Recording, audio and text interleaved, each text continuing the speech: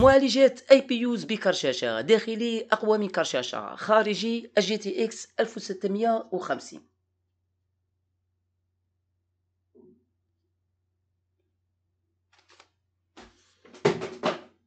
السلام عليكم. فيديو تاع اليوم راح نتكلموا على معالجات Ryzen 8000 اللي راح تكون متوفرة قريبا هذه الأيام في 31 جونفي. أعلنت AMD هذه الأيام على معالجات APUs حديثة بمعمارية ال Zen four. نفس المعمارية تاع Ryzen 7000 لكن تحت دقه تصنيع 4 نانومتر وليس 5 نانومتر. وراح تكون بواحدة من أقوى كروت الشاشة المدمجة لمعالجات سطح المكتب بمعمارية ال RDNA 3 تحت اسم 700M أو Radeon 700M. زائد ميزة الذكاء الاصطناعي ال Ryzen AI.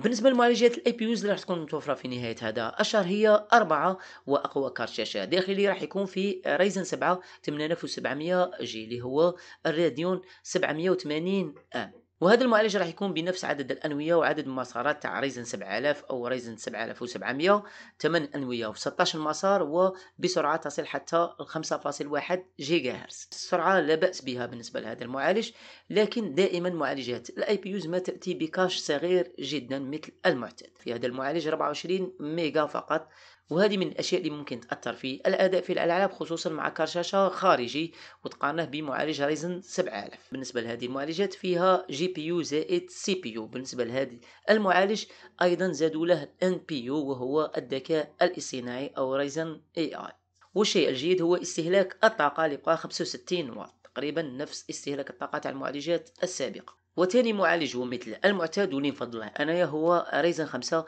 8600G وهذا هو المعالج اللي ننصح به العديد من الناس.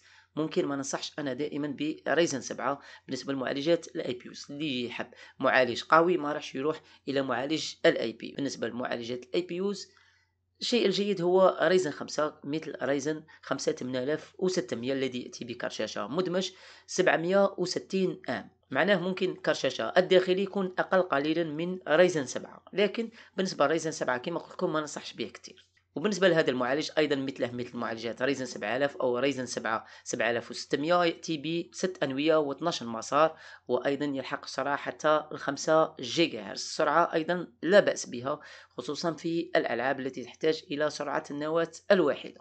لكن بالنسبة لل cache دائما أقل يأتي ب 22 ميجا. لو تقارن بين Ryzen 5 7600 مع كارت شاشة خارجي و Ryzen 5 8600G مع كارت شاشة خارجي نفسه راح يكون الأداء أحسن ل Ryzen 5 7600 لأنه يأتي ب cache كبير. وكما تعلمون بالنسبة لل cache يقدم قفزة كبيرة في الأداء وخصوصا هذا لاحظنا في معالجات 3D V-Cache. كلما كان ال cache كبير راح يكون الأداء جيد بالنسبة للألعاب. لكن هذه معالجات ال APUs دائما ال cache تاعها هكذا وهذا راجع بالنسبة للتصميم تاعها على ما أظن. وأيضا بالنسبة لهذا المعالج يحتوي على Ryzen AI أو الذكاء الاصطناعي معناه NPU أيضا في هذا المعالج. بي يو زائد يو والمعالج اللي ما كناش نستنوا فيه هو المعالج Ryzen 5 أيضا لكن 8500 G. هذه المرة معناه عملوا معالج آخر أيضا بكارت شاشة داخلي. أصغر من الأول اللي هو 740 M بنفس عدد الأنوية وعدد المسارات اللي في المعالج Ryzen 5 8600 G لكن هذه المرة عملوا بمعماريتين هذه الأنوية. اثنان من الأنوية بمعمارية الزانفور وأربع أنوية بمعمارية ال Zen 4 C. وهذا من أجل تقليل استهلاك الطاقة مع أداء أفضل وهذا اللي عملوه في معالجات ال laptop. APUs 7000 وبالنسبة لهذه أنوية ال Zen 4 C ليست أنوية صغيرة مثل ما عملت Intel في المعالجات تاعها خلت أنوية صغيرة وأنوية كبيرة.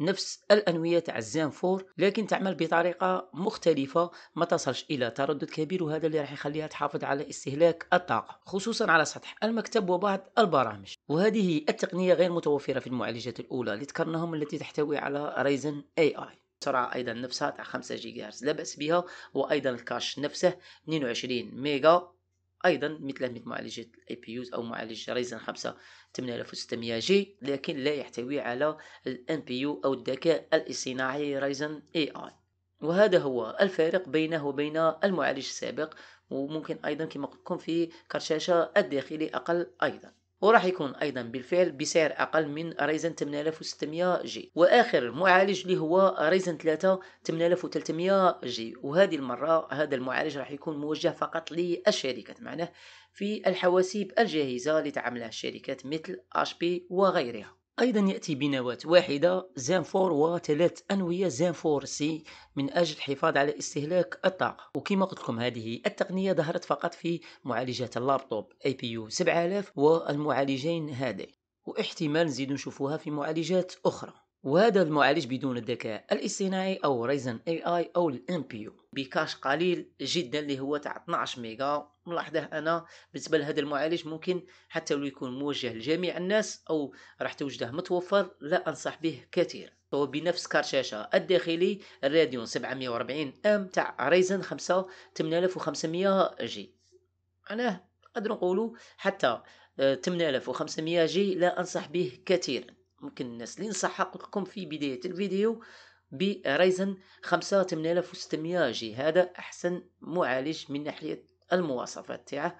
ممكن يكون مقبول أيضا من ناحية السعر في بعض الحالات خصوصا إذا زاد تراجع السعر تاعه اللي راح نقولها لكم في آخر الفيديو. وبالنسبة للناس اللي تسأل على socket هذا المعالج ولوحه الأم اللي راح تركب عليها راح تركب على socket AM 5 معناه رامات DDR 5 حاليا رامات DDR 5 راهي تأتي بسرعات كبيرة وهذه المعالجات ينصحوا بتردد كبير معها. يقولوا التردد تاع هذه المعالجات هو 5200 ميجا transfer في الثانية. وبالنسبة لأحد الأشخاص من شركة AMD أعلن بأن التردد تاع المعالجات هذه يلحق حتى 6000 ميجا transfer في الثانية ممكن تزيدوا في التردد ممكن حتى 6400 ميجا transfer في الثانية مع هذه المعالجات راح يكون أحسن. وبالنسبة للوحة الأم كما قلت لكم راح تكون على socket AM 5 وأنا ما ننصحش مع هذه المعالجات بلوحة أم من الفئة العالية تاع ال X 670 وغيرها. ممكن ننصح بال B 650 أو ال A 620 راح يكون أفضل مع هذه المعالجات أحسن خيار راح تكون مع ال B 650 من أجل تردد الرامات وممكن من أجل ال VRM ممكن تكسر سرعة المعالج وغيرها.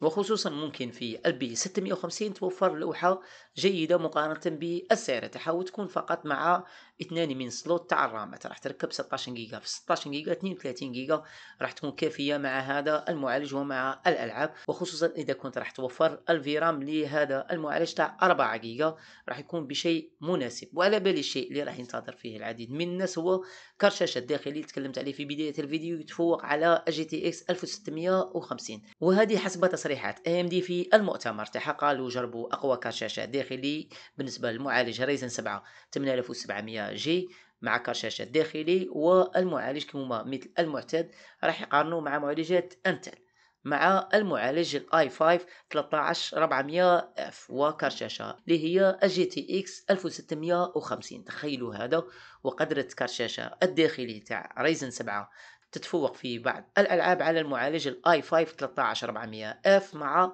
كارت شاشة اللي هي GTX 1650 وهذه من الأشياء القوية جدا. تخيل هذا حتى لو يكون كارت شاشة الداخلي هذا أقوى فقط من ال GTX 1050 Ti. تاع 4 جيجا VRAM. ممكن هذا المعالج راح تخصص له 4 جيجا تاع VRAM خصوصا انت راك تستعمل في 32 جيجا من ال RAM.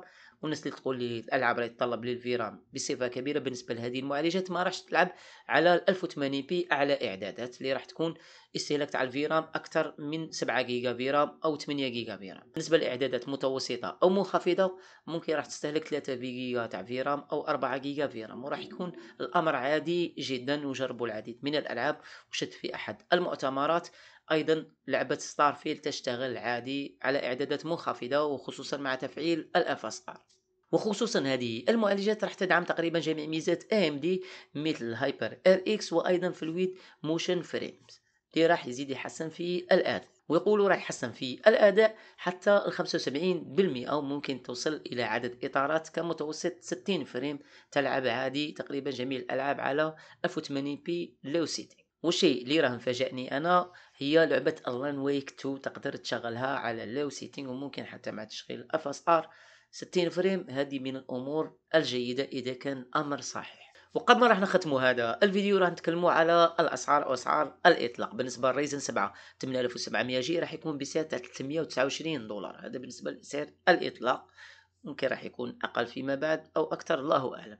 وبالنسبة ل Ryzen 5 8600 G راح يكون بسعر تاع 229 دولار واللي نشوفها في المعقول. فارق تاع 100 دولار بينه وبين Ryzen 7 كما قلت الناس اللي تحتاج إلى معالج قوي ما تروحش إلى معالج ال APU تي بكاش أقل. وبالنسبة لسعر تاع Ryzen 5 8500 G اللي ما عندهاش تقريبا حتى معنى بالنسبة لي راح يكون بسعر تاع 179 دولار. معناه ب 50 دولار أقل من سعر تاع 8600 G ممكن 50 دولار تكون في بعض الأحيان فارق بالنسبة لأحد الناس اللي ما عندهمش ميزانية كافية. وكان هذا هو الفيديو تاعنا تاع اليوم وإن شاء الله لما تكون متوفرة هذه المعالجات راح نعملوا مراجعة على أحد منهم واحتمال كبير راح يكون Ryzen 5 8600 G. وخصوصا أنا في الوقت الحالي راني مطور لمنصة AMD AM 5 مع رامات تاع 6400 mega transfer في الثانية معناها راح يكون أمر مناسب إذا جبت معالج من المعالجات تلك وجربتها على ال PC تاعي. وخصوصا نزيدو نقارنوه مع المعالج اللي عندي Ryzen 5 7600 مع كارت شاشه خارجي. ممكن نجيبو GTX 1050 Ti. ونشوفو إذا كان أداء جيد لكارت شاشه الداخلي تاع Ryzen 5 8600 G. وكان هذا هو الفيديو تاعنا تاع اليوم. إن شاء الله تكونوا استفدتوا من هذا الفيديو. ولو معلومة صغيرة الا عجبكم الفيديو ما تنسوش باش تشتركوا مع الأصدقاء تاعكم وتعملوا لايك واشتراك للقناة وتفعيل زر الإشعارات باش توصلكم أي حاجة جديدة نحطوها ولدعمنا في القناة. وما بقى لكم تلاقوا فيديوهات أخرى. إن شاء الله. سلام.